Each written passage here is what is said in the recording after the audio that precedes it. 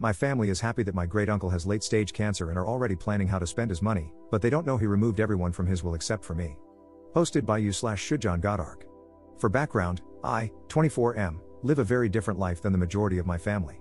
I didn't graduate high school but got a GED and started working as a welder and hunting guide. The rest of my family is pretty successful. For instance, my father is a lawyer, my mom used to be an RN, my brothers own companies, and my sister married a lawyer.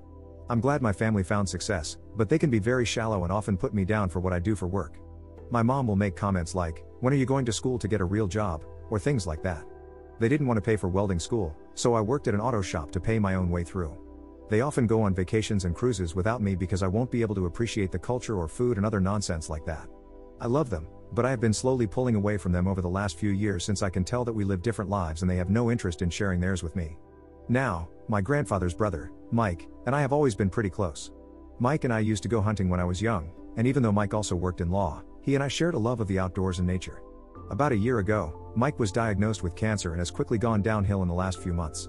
I have taken a lot of time off work to care for him since he is my oldest relative, and no one else wants to take care of a frail, sick old man for some callous reason. His wife died 15 years ago, and he doesn't have any children. He recently asked me if taking care of him was hurting me financially, and I told him that I was cutting back on hours at work, but I loved him more than any of my other family members, so it was my pleasure to take care of him. The next time I visited him, he revealed that he was having his will changed and would be willing his hunting cabin. It's not really a cabin, it's a small single family home with power and running water on 70 plus acres, to me, along with about $100,000 to get it fixed up and start your life.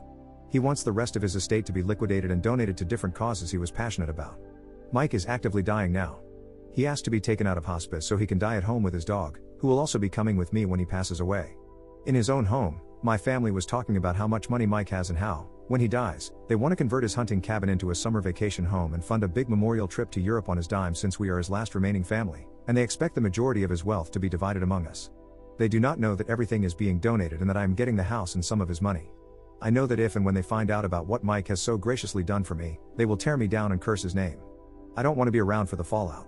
I plan to set aside some money for renovating the house for full time use and start a small welding company someday. So, would I be wrong if I cut them out of my life as soon as Mike is gone? Seeing this new greedy side of them has soured me a lot, and I don't know if I can even stand being around them anymore, even though I know that Mike always said your family should be everything to you. First update 4 months later. I figured I might as well provide an update to my original post, so here it is. Mike passed away shortly after my last post. He died peacefully in his sleep. His last waking hours were spent with me, Maisie, and the nurse who was caring for him. He is buried next to his late wife. He lived a good life. Some of his last words to me were, We had a pretty good run, didn't we? The issue with the will was hilarious to me and served as a great pain reliever. Mike is always looking after me, even after his death, because watching the fallout in real time was like chicken soup for my grieving soul. Yes, Mike did leave the cabin and money to me. He also left me his guns, his dog and her belongings, his fishing poles and tackle, and a few mementos from over the years. He changed the will three years ago and simply never told me or anyone else in the family. He left various trinkets for other members of our family that were pretty on the nose. For instance, he left my father, who spent a long time complaining about the contractors doing work on the house, a bag of old hand tools. My sister got a box of wine glasses. One of my brothers got a drawer full of pens and pencils for your blossoming legal career. He also gave all of us some money for a round of beer in his honor. Watching everyone go from fake sadness to excitement, to horror and disgust was quite the trip. My mom kicked the pot of flowers outside the office so hard that she tipped it over. My father just stared out the window in silence for a really long time. My oldest brother held it together until we made it home, then started screaming and swearing about getting an effing box of pencils as a thank you for being part of his life. I have been moved from the disappointment son list to the crap list. As some of you noted, they weren't exactly angry about the cabin and the money Mike left me, but more so about his larger assets that were being liquidated and donated. That drove them completely insane. The main target of their anger was the primary organization that Mike willed the rest of his estate to, and other than an initial outburst and some snide comments, they seemed to take it in stride. I haven't spoken to them much since Mike's passing and the will issue. There are still matters that need to be worked out, and I was told it could take up to a year. The cabin has been locked up, and I've set up some cameras and a gate alarm.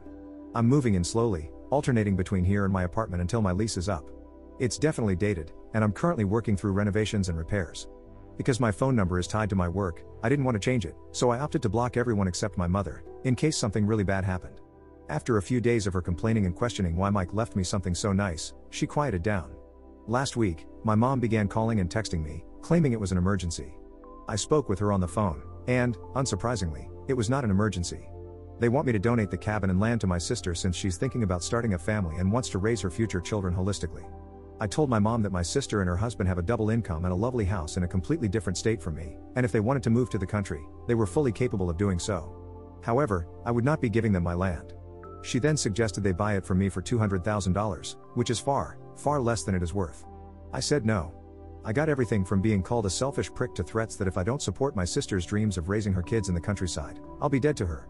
They even said Mike would want me to give the cabin and land over, and they told me, see if we ever do anything for you again, you entitled prick.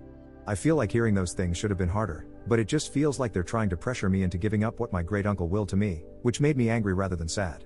My sister also got on the phone to cry and say it was her and her husband's dream to raise their kids specifically on Mike's land.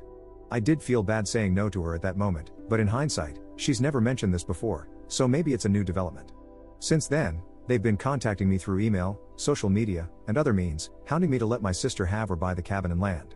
So, despite my best efforts, the people of Reddit were right once again, I should have gone completely no contact. I've deleted my social media accounts, and since I've moved job locations, they don't know where I'm currently working. However, they do know where my house is. Sometime while I was at work, my mom and sister drove over, knocked on the doors, tried to open the side door, and looked in the windows. On my doorbell camera, my mother very clearly tells my sister not to touch anything so he can't sue. I'm thinking of putting up a locking gate, right now it latches but doesn't lock. Everyone is now blocked, and I'm putting together a list of people who need to be notified of a phone number change since I want to change my number. I'm not really sure how to go about keeping them from walking onto my property. About two weeks ago, when I returned to my apartment, my parents were both waiting for me to confront me about how devastated my sister is that her future children won't have the experience of growing up in the country. I'm kind of afraid that they might camp out at the property until I give in. I've put up no trespassing signs, and I hope that's enough. I know one of my brothers drove by a while back because he sent me a picture of the road my house is on.